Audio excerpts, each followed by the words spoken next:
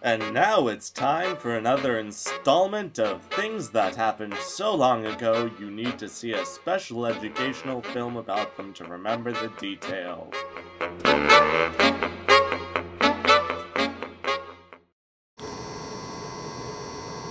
Of course, everybody on Earth enjoys the golden age of prosperity brought on by the mind-boggling success of Midnight Cabaret in the 2008-2009 year. But how did this success begin? Well, that's easy to answer. It started in the peaceful and not at all violent but still militant takeover of Midnight Cabaret by the co-chairs for that year, Michael Mietlicki and Yoshi Kuroi. Now, we all enjoy this age of prosperity and everything, but how many of you know, for instance, that there was a battle involved, a naval battle, in fact?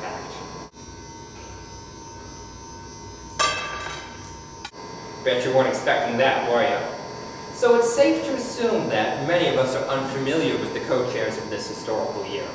And so we did some research and found some experts who spent their entire lives studying Mike and Yoshi. And here's what they had to say about these two incredible men.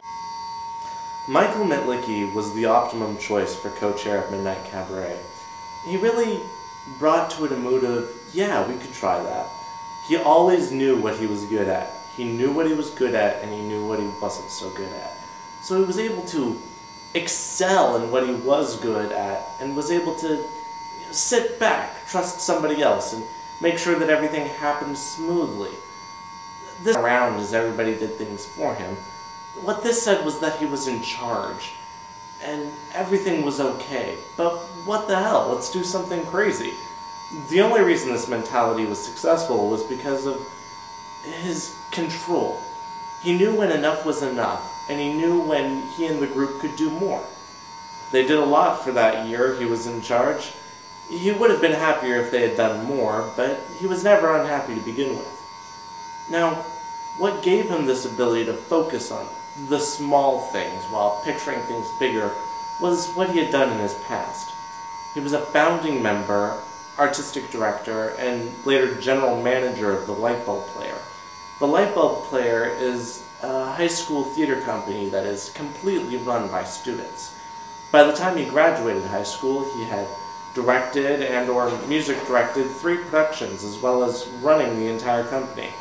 Because of this experience, other larger theater companies brought him on to different jobs.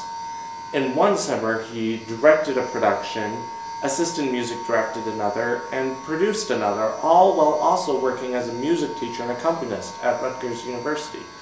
Not one of his jobs slacked at all during this period. In fact, many of the people he worked with regarded him as one of the best directors, producers, what have you, that they had ever worked with. The previous co-chairs, Beth and Spike, really could not have picked a better successor than Yoshi Kuroi. No one could have better embodied the creative freedom of Midnight Cabaret, as he was always eager for artistic exploration. Nothing seemed to give him more joy to help encourage and achieve the expression of different people's ideas. In all likelihood, it was his willingness to be impulsive that aided greatly in such endeavors, although he always drew the line when too close to anything overly inappropriate. That ability wasn't all that made him a great co-chair, however. He also had seemingly unending compassion towards people and their ideas. Despite whatever his personal feelings towards someone or their idea might be, he unfailingly listened to them and considered them as carefully as if they had been his own ideas. No one really needed to feel like their idea was any less valuable than anyone else's when working with Yoshi Kuroi. Both his impulsiveness to a point and his compassion for every single idea that came his way developed as a direct result of his experiences before he was co-chair of Midnight Cabaret. Having been trained in the theatrical art of improvisation from the very early age of six, impulsiveness was like a second nature to him, as well as that he had the idea of yes and drilled into him. That is, he knew absolutely how to take an idea that wasn't necessarily good enough, and as opposed to cutting it entirely, adding to it in order to improve it.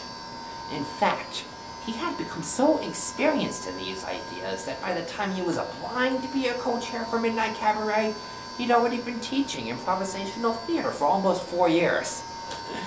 In addition to teaching improv professionally, Yoshi was no stranger to the administrative side of creating a show in a. He's a founding member of the completely student-run Harvard School of Performing Arts, which would quite often put up shows in brief amounts of times, sometimes even less than a week. he also ran the Harker Improv Troupe for two years. It too was a student-run company that put up various shows, though usually comprised half of improv and half various performance art pieces.